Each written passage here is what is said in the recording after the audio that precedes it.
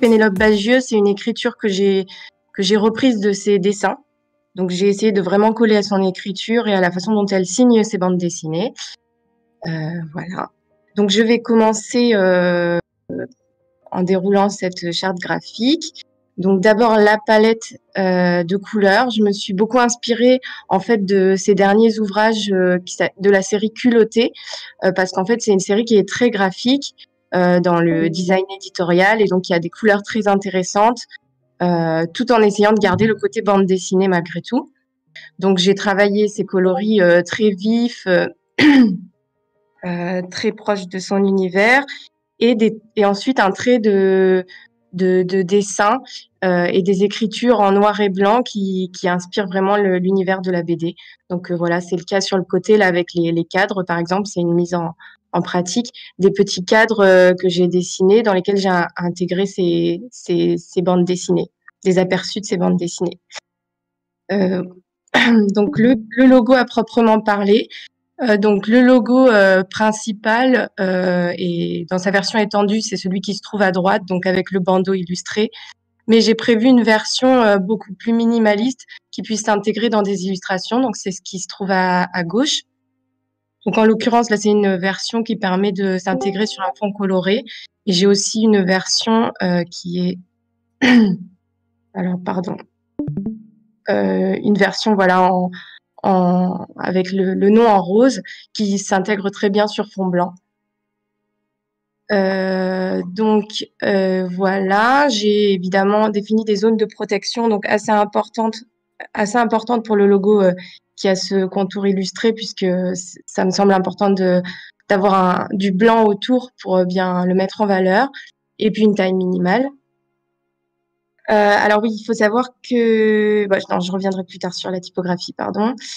Euh, donc voilà, des exemples de mise en, mise en application du logo sur différents fonds. Euh, donc euh, là, je les ai placés sur des illustrations donc, de Pénélope Bagieux. Ensuite, donc la typographie. Donc la typographie, c'est un travail très intéressant. Donc euh, j'ai créé une typographie euh, en travaillant sur son écriture, en fait, l'écriture qu'elle, euh, qui se trouve dans ses bandes dessinées. Donc, c'est une écriture principalement en majuscule parce que, bah, uniquement en majuscule, pardon, parce que je trouve que ça la caractérise bien. Elle écrit beaucoup de titres en majuscule. Et donc, moi, c'est une écriture, c'est une typographie que j'utilise en titre, en fait. Ou dans des éléments que je veux vraiment mettre en valeur, mais c'est évidemment pas la typographie des corps de texte. Pour la typographie des corps de texte, justement, euh, euh, j'ai plutôt privilégié des, typographies euh, classiques. donc, la, typographie principale, c'est Mulish, et une, écriture un peu plus décorative, Playfair Display, pour varier.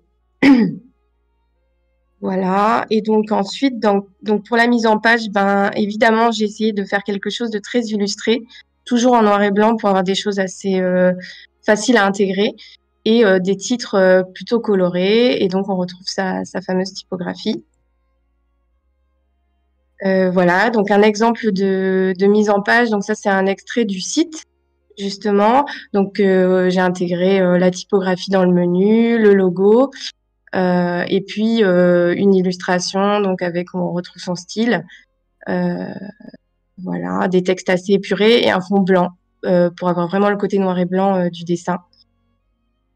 Euh, et voilà, un autre aperçu de, page dans lequel j'intègre ses, propres, bandes dessinées. Donc voilà, voilà pour la charte graphique. Voilà.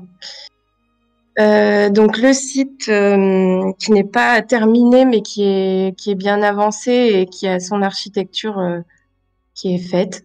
Voilà. Donc j'ai choisi une page d'accueil donc une page d'accueil un peu originale. Je me suis inspirée d'une page d'accueil de, de l'auteur d'Harry Potter parce que je trouvais qu'il y avait ce côté communauté de, de, fans aussi autour de Pénélope Bagieux et donc qui demande d'avoir quelque chose qui est très ancré dans son univers et en même temps assez assez pro. donc donc voilà, c'est une page d'accueil illustrée avec en fait des renvois vers euh, les éléments d'actualité. Donc là, la partie en librairie, par exemple, c'est les dernières sorties en librairie qui se trouvent dans la page biblio. Et en dessous, donc là pour l'instant, je n'ai pas encore les éléments, mais j'ai les derniers produits de la boutique, euh, les derniers euh, articles du blog. Donc, je vous expliquerai, c'est des articles de blog un peu particuliers. Euh, les dernières interviews dans la presse de Pénélope Bagieux et alors dans la presse c'est ici et les, événements à l'agenda. Donc ça va être toujours sous forme de très simple, comme c'est le cas sur le premier titre, avec un petit en savoir plus ou lire l'article. Euh, voilà pour la page d'accueil. Donc pour le menu, euh, j'ai repris du coup sa typographie. J'ai un sous-menu ici. Euh, la, la, petite icône pour l'accueil, c'est une petite maison qui est reprise dans un de ses dessins. Pour lui faire un, clin d'œil. voilà, pour les, pour les personnes qui lisent cette bande dessinée, c'est un clin d'œil qui est amusant. mais évidemment, le logo permet de revenir à l'accueil aussi. Donc, j'ai une page bio euh, c'est celle dont vous avez eu l'aperçu tout à l'heure, voilà, qui est toute simple.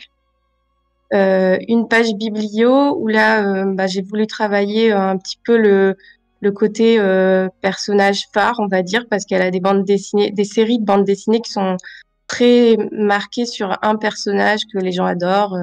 voilà, souvent des personnages féminins, mais pas que. Euh, donc avec euh, ce, ce, cette petite animation qui permet d'aller directement euh, sur la page de l'ouvrage. donc voilà, je vais vous donner un exemple avec Sacrée Sorcière.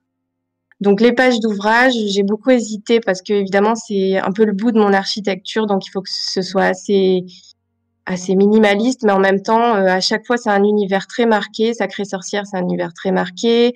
Donc, j'ai voulu vraiment mettre en valeur et donc j'ai créé ces bannières euh, qui font rentrer tout de suite dans l'univers de l'ouvrage et puis une, une, galerie qui permet de voir quelques planches. Et euh, voilà, une description que je dois encore écrire. Et des renvois vers les autres bandes dessinées pour, euh, pour le maillage interne. Voilà, donc si je reviens rapidement sur la page biblio, euh, on peut évidemment, si on ne sait pas qui on veut découvrir, quel, quel ouvrage on veut aller voir, euh, aller voir toute la biblio. Donc, ce qui nous, nous amène sur cette page-ci, cette partie-là. On a le choix entre la partie bande dessinée et la partie illustration, puisqu'elle a illustré aussi des romans. Euh, et donc voilà, si je clique sur la, la page bande dessinée, j'arrive sur une page générale euh, qui présentera la démarche euh, bande dessinée de Pénélope Bagieux avec euh, les pages des bandes dessinées en bas, qui seront un petit peu plus nombreuses. Voilà. Alors ensuite, j'ai une page blog BD qui est en cours de construction, donc j'ai tous les visuels qui sont presque prêts, mais je les ai pas encore mis. Donc en fait, parce que ce sera pas un blog BD à proprement parler, c'est la partie la plus importante du site et de la vitrine de Pénélope Bagieux telle que je la conçois, c'est en fait une partie web comics. Euh, et donc ça, c'est un aspect euh, important dans mon projet, c'est-à-dire que la bande dessinée, le secteur de la bande dessinée se réoriente vers des supports digitaux. On a notamment les, les web comics qui, qui explosent ces dernières années, qui sont des bandes dessinées qu'on regarde en ligne et notamment sur son téléphone portable. Et donc, c'est des bandes dessinées qui ont un, un format assez particulier, euh, qui joue beaucoup sur le défilement de l'écran. Et donc, euh, c'est pas quelque chose que Pénélope Bagieux fait, euh, mais euh, je trouvais intéressant de me projeter dans cet usage-là et dans ce, ce travail-là pour elle et d'imaginer une chaîne de, de webcomics. Et donc là, évidemment, euh, c'est une page et, qui va être très importante sur son responsive. Donc, je vais vraiment la penser euh, principalement pour un téléphone portable.